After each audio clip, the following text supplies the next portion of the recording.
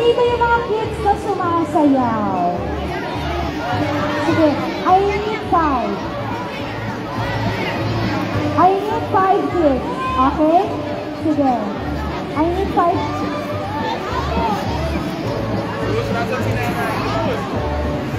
Wait lang, wait lang, wait lang. Sino TikTok dito? Ah, sige, wait lang.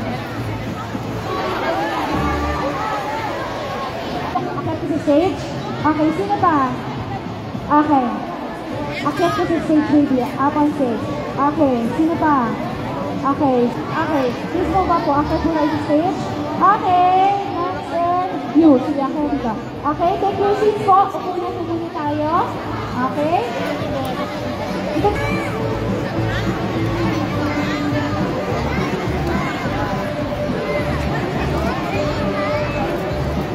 Tayo? One, Okay, alin tayo. Okay. Alright. Now, my dear kids, since you are in your Halloween costumes, okay, we will be doing the Halloween freeze dance. Okay? So, kailangan, once we actually play a music sa ating sound system, you have to dance. Okay? And once the music stops, you have to show us your most scariest Halloween poses. Okay? So just like, you know, during Halloween, ano ba yung mga ginagawa? Ano ba yung mga posing natin? Pag Halloween, what are the examples? Ayan, okay? Yung parang ganyan monster, di ba? Parang zombie. Ayan. O kaya ano ba? Parang mga, di ba parang mga multo, di ba? Yung mga parang white lady. Okay, my dear kids, we will be playing a music from our sound system. Okay? So, sasayaw tayo. And after that, you do the Halloween freeze position or posing. Okay? So, pag nag-stop ang music, you have to do your most scariest or hindi naman scariest, basta Halloween pose. Okay? Kids, are you ready? Okay. Let's get ready. Music, please.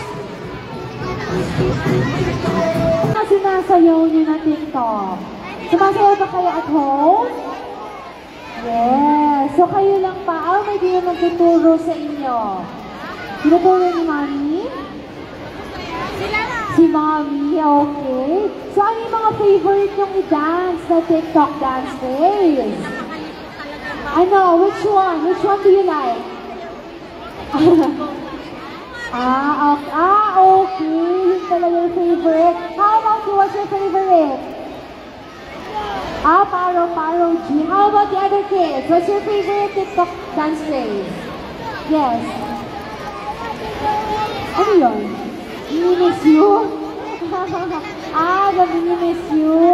ah, sige, wait lang tayo nga. Ayusin lang natin ang music, okay? Let's go, kids! Come on! Go!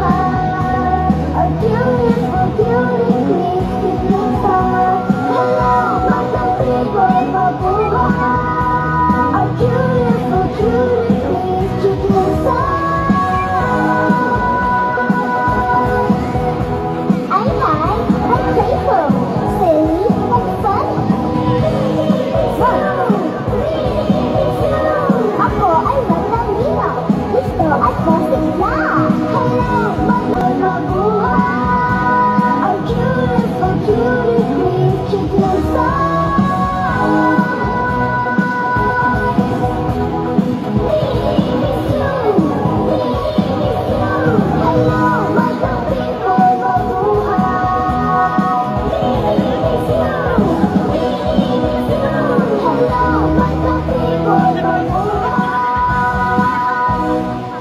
to the Halloween pose, please! Ito yung Halloween pose natin.